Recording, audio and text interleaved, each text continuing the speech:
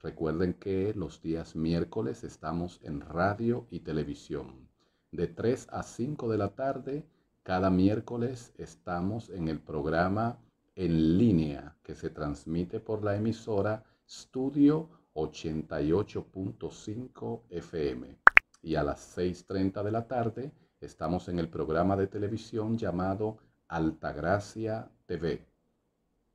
Ese programa se transmite por Sport Visión Canal 35. Todos los miércoles estamos en radio y televisión hablando de migración. Señores, vamos de una vez al tema del día. El tema del día es estado de las operaciones consulares para visas de no inmigrantes. Ese es el tema del día. Señores, vamos entonces directamente a ver acá en pantalla unas informaciones que nos facilita la Embajada de los Estados Unidos en su página. Veamos aquí en pantalla. Observen. Como ustedes pueden ver, estamos aquí en la página de la Embajada de los Estados Unidos en la República Dominicana. Miren el tema ahí, estado de las operaciones consulares para visas de no inmigrante. Vamos a subir un poquito acá para poder leer la información. Miren lo que dice acá. La Embajada de los Estados Unidos en Santo Domingo está procesando de forma limitada citas de rutinas para visa de trabajo, para visas de trabajo y estudiantes. ¿Escucharon bien? Están poniendo citas, pero de manera limitada para visas de trabajo y para visas de estudiantes. Pero hacen la salvedad según lo permitan las condiciones locales. Cuando hablan de condiciones se están refiriendo al virus, obviamente Vamos entonces ahora a la otra parte del texto. Las citas de rutina para visas de turistas permanecen suspendidas actualmente. Oigan esa parte.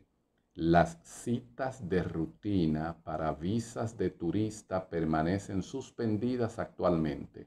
O sea, que no se están trabajando visas de paseo. Si usted quiere pasear por primera vez, no es posible. Si usted fue en un momento a solicitar visa y se la negaron y quiere aplicar para poder ir de paseo a Estados Unidos, no es posible. Pasear por pasear en este momento no es posible. Ellos hacen la salvedad y dicen, solo se están atendiendo, mírenlo ahí, Solo se están atendiendo los casos que cumplen con requisitos para el procesamiento de emergencia o que son elegibles para una exención de entrevista. ¿Ven lo que dice acá?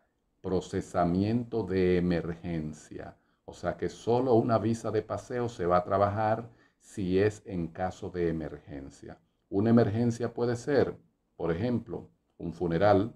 Una emergencia puede ser, por ejemplo, que usted tenga un familiar que esté en una condición grave de salud y necesite de la presencia suya porque no tiene quien atenderle. Ahí le di dos ejemplos de lo que se llama emergencia. Y ellos hacen una salvedad aquí y dice, o aquellos que son elegibles para una exención de entrevista. Cuando hablamos de una exención de entrevista, exención quiere decir que la persona está exenta, y cuando está exenta quiere decir que no necesita, que no necesita una entrevista. Por ejemplo, ¿quién no necesita una entrevista? Una persona que tiene 80 años o más. No necesita una entrevista.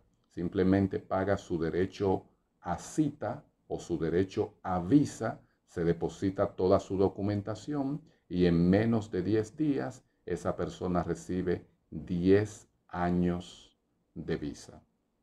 Hay otros casos también que ellos mencionan acá. Lo vamos a ver más adelante, pero miren acá. Seguimos leyendo. debido a la capacidad limitada y las precauciones de seguridad debido al COVID-19, se espera que los solicitantes experimenten retrasos en disponibilidad de citas.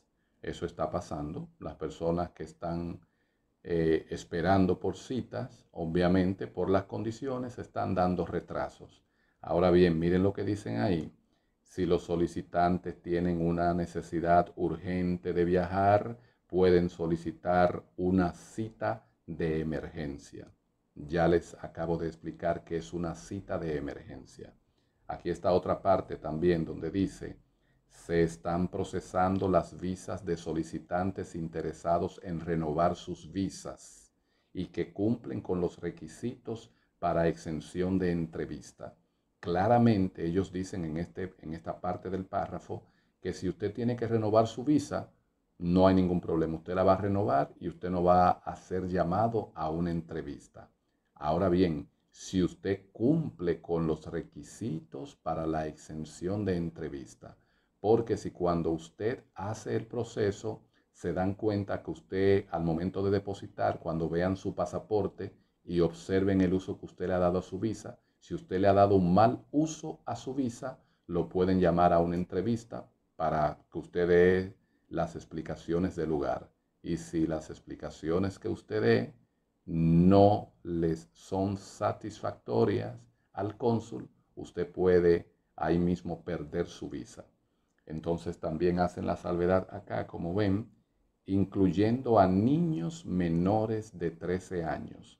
O sea, recuerden que los niños menores de 13 años por el hecho de que uno de los dos padres tenga visa y el otro padre no sea ni residente ni ciudadano y a ese niño nunca le hayan negado una visa y aunque ese padre no haya utilizado su visa, su visa está nueva y no la ha usado o la usó pero de manera correcta, entonces a ese niño que tiene 13 años o menos le dan 10 años de visa de manera automática. ¿De acuerdo? Entonces volvemos aquí en pantalla.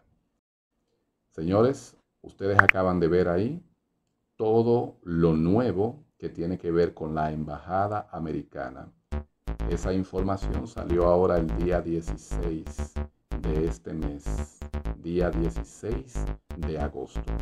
Cualquier persona que le diga a usted que ya la embajada americana abrió o el consulado abrió para trabajar las visas de paseo, dígale mentira, porque ese servicio por el momento está suspendido, pero tiene sus excepciones, porque siempre hay excepciones a la regla.